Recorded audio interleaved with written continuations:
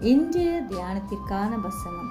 எரேமியா தீர்க்கதரிசியின் புஸ்தகம் இருபத்தி ஒன்பதாவது அதிகாரம் பதினோராவது வசனம். நீங்கள் எதிர்பார்த்திருக்கும் முடிவை உங்களுக்கு கொடுக்கும்படிக்கு நான் உங்கள் பேரில் நினைத்திருக்கிற நினைவுகளை அறிவேன் என்று கர்த்தர் சொல்லுகிறார். அவைகள் தீமைக்கல்ல சமாதானத்துக்கு ஏதுவான நினைவுகளே.